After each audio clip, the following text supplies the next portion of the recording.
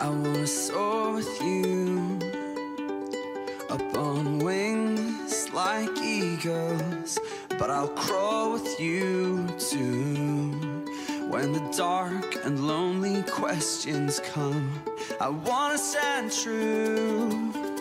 No matter what's new or comes through, I can't stand still. Whatever hits, I'll keep making movements to you. I'm running fast and free to you, cause you are the movement and fight in me. I'm running fast and free to you, cause you are my home where I wanna be. Come move in me where I wanna be.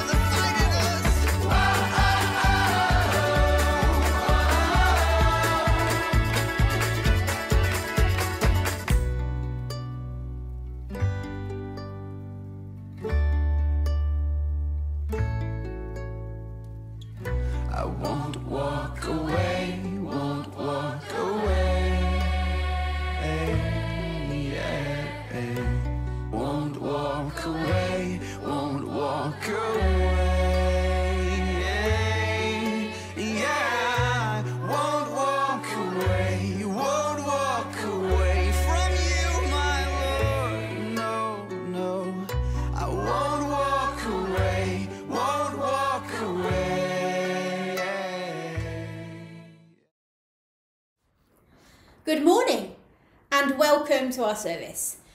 Now, I don't want to lose any reputation here. So, given that I am welcoming us all, I have taken the opportunity to dig into my joke box and I've found three, yes, three, that will help introduce our theme for the day. So, are we ready? Number one, what am I? I am a seed with three letters in my name. Take away the last two, and I still sound the same. What am I? So I'm a seed, I've got three letters. If I take away the last two, I still sound the same. What am I? A P. Number two. What has to be broken before you can use it? Any ideas? It's an egg. And the last one.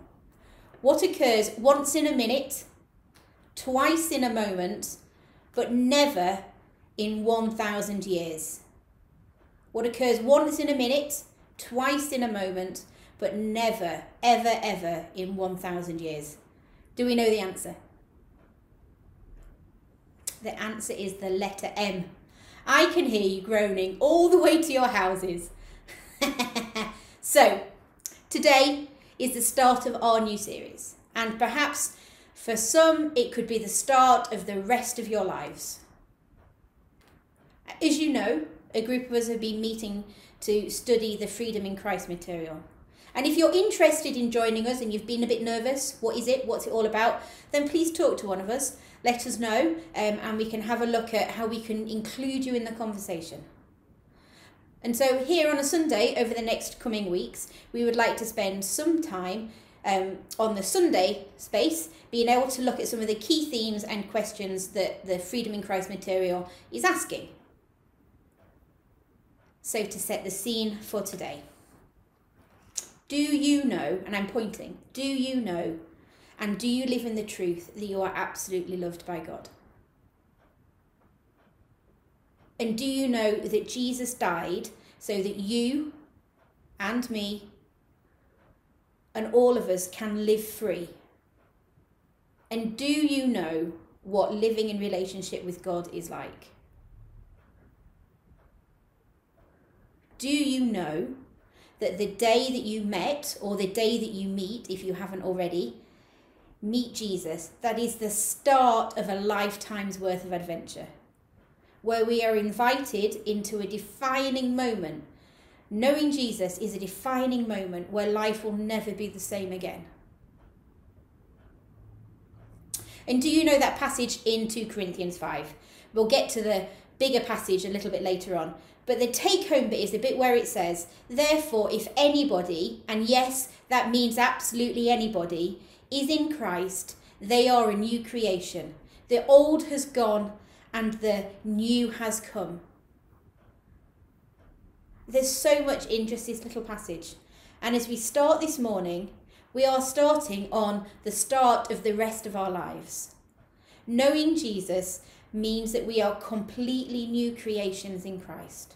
We are holy ones who are accepted, we are secure, and we are significant. I would love to just pray for us before we get started. Let's pray. Father God, in a world that even in lockdown, even in the situation, and the circumstances we find ourselves, can feel like it is moving so quickly. And in a world where we can go through days on end and not feel seen and not feel noticed.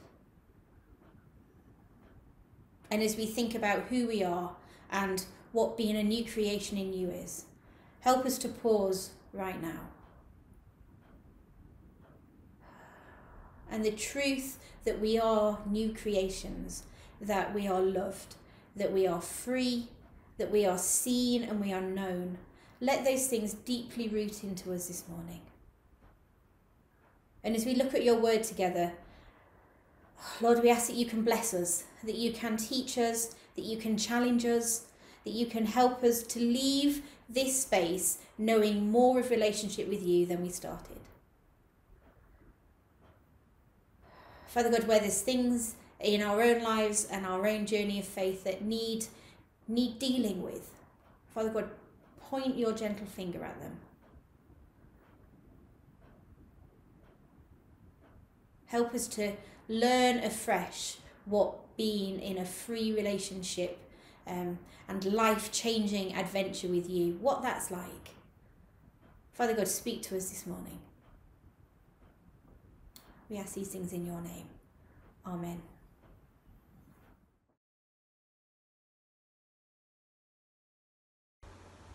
Second Corinthians chapter 5 verses 14 to 21. We are ruled by the love of Christ, now that we recognize that one man died for everyone, which means that they all share in his death. He died for all, so that those who live should no longer live for themselves but only for him who died and was raised to life for their sake. No longer then do we judge anyone by human standards. Even if at one time we judged Christ according to human standards, we no longer do so. Anyone who is joined to Christ is a new being. The old is gone, the new has come. All this is done by God, who through Christ changed us from enemies into his friends and gave us a task of making others his friends also. Our message is that God was making all human beings his friends through Christ. God did not keep an account of their sins, and he has given us the message which tells us how he makes them his friends. Here we are then, speaking for Christ, as though God himself were making his appeal through us. We plead on Christ's behalf let God change you from enemies into his friends. Christ was without sin, but for our sake God made him share our sin, in order that in union with him we might share the righteousness of God.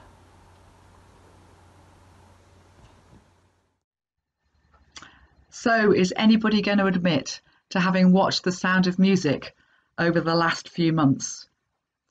Some of you might be young enough to not even know what The Sound of Music is, but I grew up with it, and I am going to confess that between Christmas and New Year, I slobbed on the settee and I watched it from beginning to end. And I reckon some of you might have done as well. You can confess on the chat bar. But what has the sound of music got to do with who we really are? Who we are in God? Well, let's start at the very beginning. It's a very good place to start. In the beginning, Adam and Eve walked in the garden with God in the cool of the evening. They were created in the image of God, spiritually alive inside accepted, significant, and secure in and with God. You and I were created for that kind of life. One evening, God could not find Adam and Eve. We were hiding from you because we were afraid, said Adam. What have you done? asked God. Have you eaten what I told you not to eat? Adam and Eve had disobeyed God. Their spiritual connection with God was broken. God, who is holy, could not walk with them in the garden any more. His spirit could not be joined to their spirit. Spiritually, they died. This is our human inheritance to be physically alive, but spiritually dead. Our purpose, our significance in God, is replaced by guilt and shame. Our security in God got replaced by fear. Our acceptance by God, our intimate relationship with Him, is replaced by a sense of rejection. But our instincts cause us to search for a way back, a way back to a God intended life of acceptance, security, and significance in and with Him. But how can we get back there? How can we become spiritually alive again, become connected to God once more? The answer, of course, is Jesus. He is where our search ends and where new life begins. God sent Jesus he was like Adam at the very beginning, physically and spiritually alive. But he did not sin. He did not disobey God. He lived in the fallen world, spiritually alive. Jesus said, I am in the Father, and the Father is in me. The words I speak are not my own, but my Father who lives in me does his work through me. Jesus lived in this fallen world spiritually alive.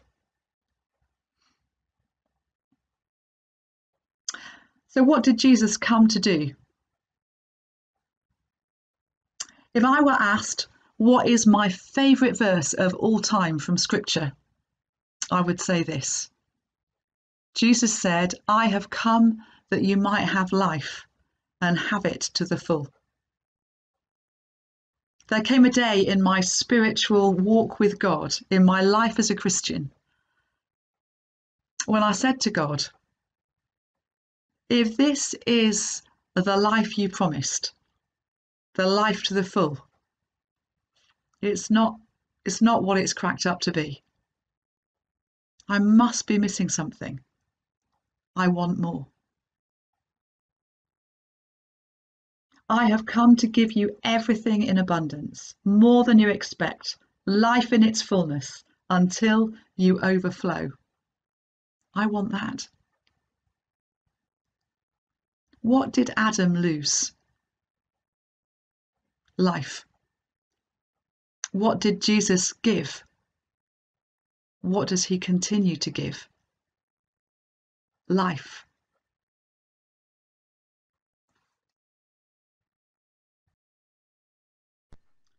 When we say yes to Jesus, when we believe in him, then we become a new creation. The Bible says, Anyone who belongs to Christ has become a new person. The old life is gone, a new life has begun. And all of this a gift from God, who brought us back to himself through Christ. Now, here's the thing, and I think it's where many of us, myself included, go wrong. We go down the road of the sound of music theology. Picture Maria and Captain Von Trapp. They are finally confessing their love to each other. And Maria breaks into song. I almost did, but decided maybe not. And Maria sings, For here you are standing there loving me, whether or not you should. So, somewhere in my youth or childhood, I must have done something good. That is not what Scripture says. But somehow, deeply within us, is that belief that to be loved, we must have done or do something good.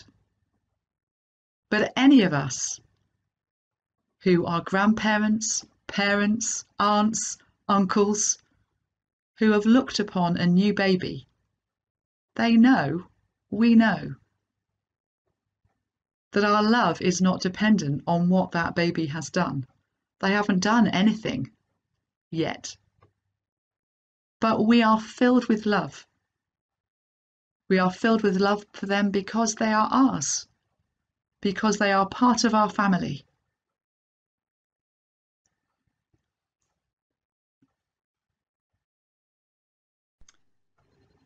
As we believe in Jesus, we become spiritually alive.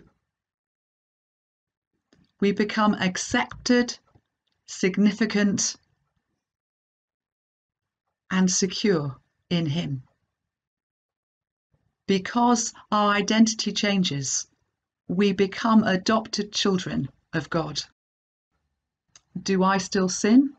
Yes, of course I do. I am not perfect. But my sin does not identify who I am. Sin is something that I do, it is not who I am. Deep down inside, I have become a beloved daughter of God because of what I believe, because I believe in Jesus. And slowly but surely, that belief makes its way to the surface. It changes how I am. Anyone who believes in Jesus, the old life is gone and a new life has begun.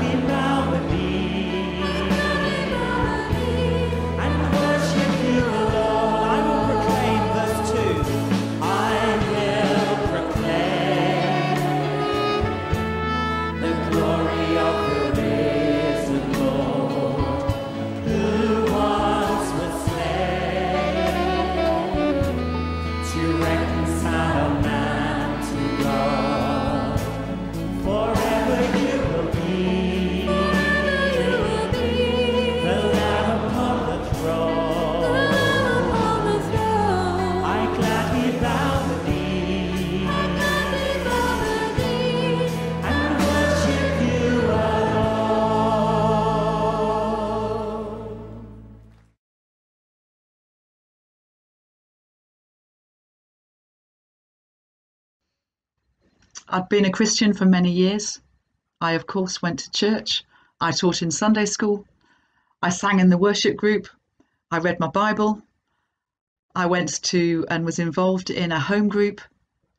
I was a good girl. And over the years, I'd read, I'd heard, I'd prayed, had people praying for me. The words that come up again and again in scripture of how precious I was to God how I was loved, how I was adopted daughter of the king. And every time I heard those sort of words, I used to think inside, oh, that's nice, that's lovely. But if they only knew, if they knew what I was like, if they knew what I'd done, then they'd know that couldn't be true. And then there came a day, and I remember it still like it was yesterday. I was sat in my parents' home.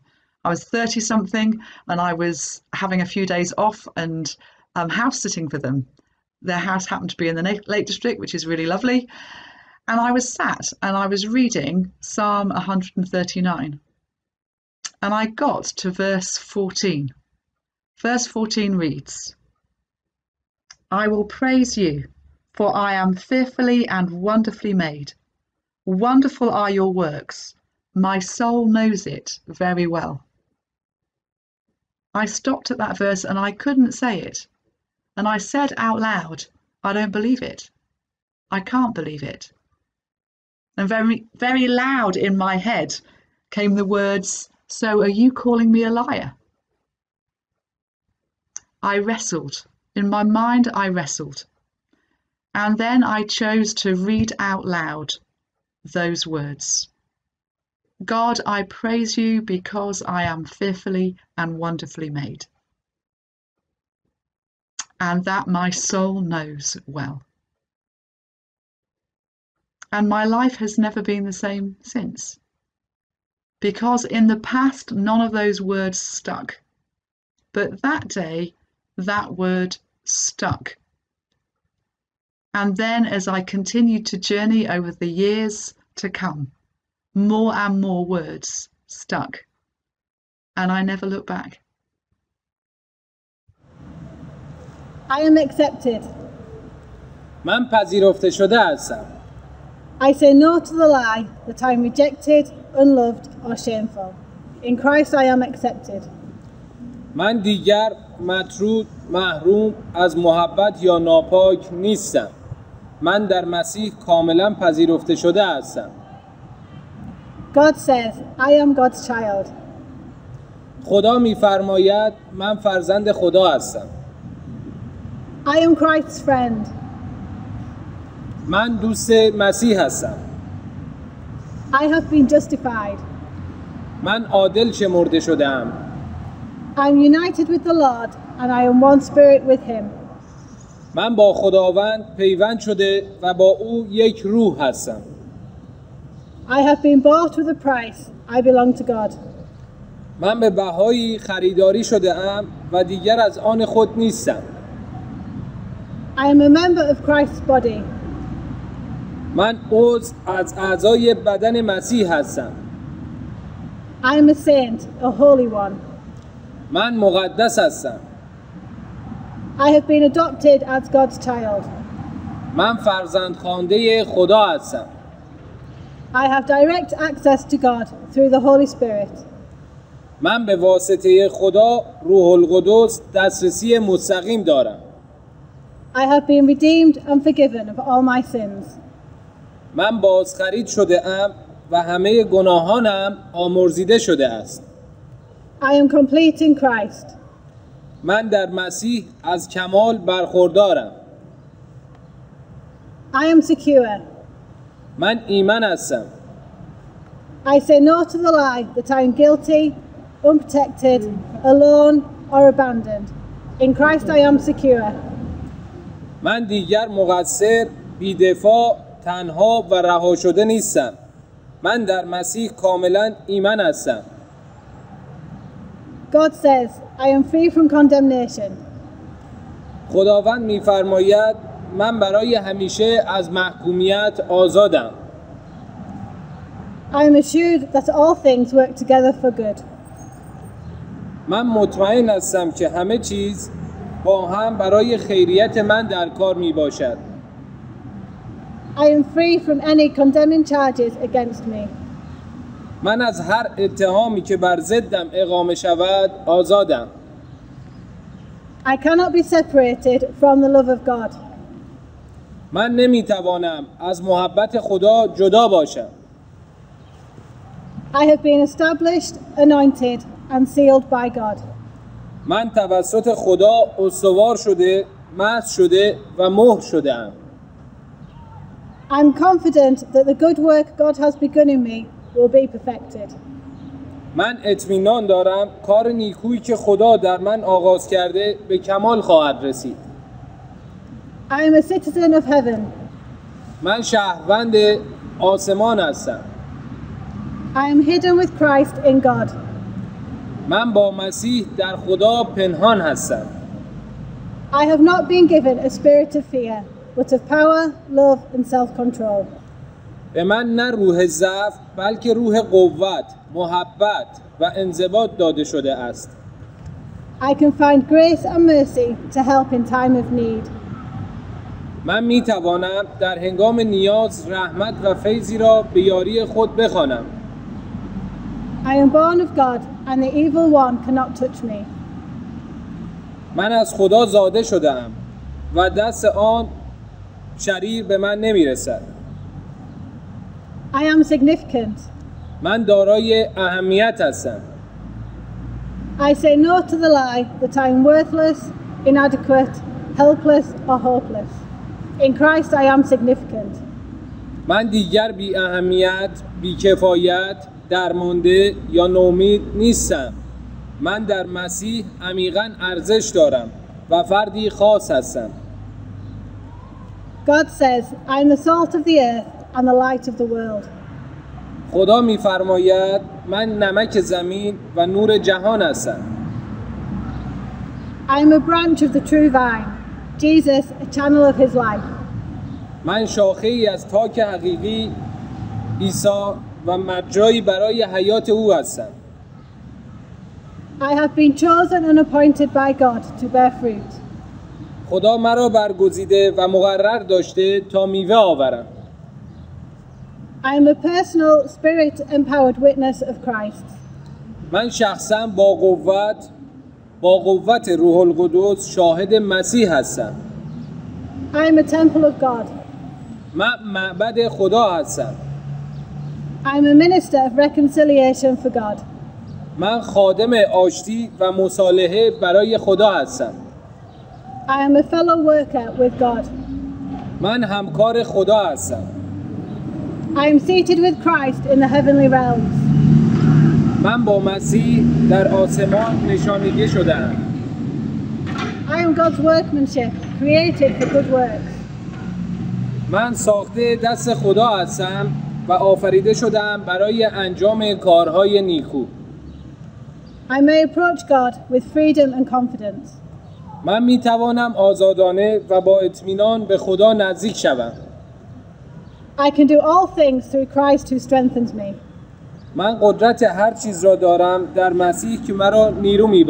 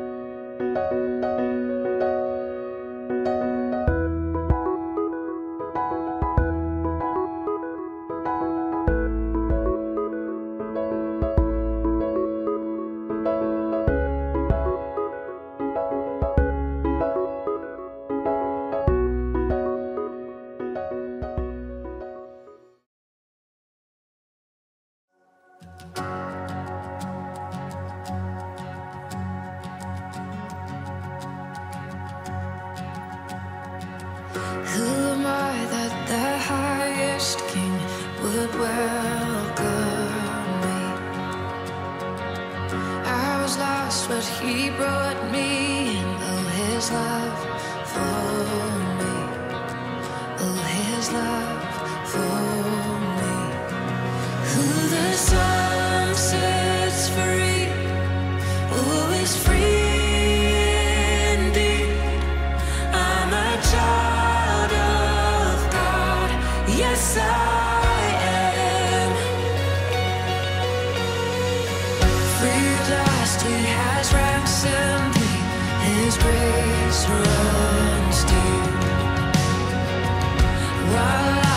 a slave to sin, Jesus died for me. Yes, he died.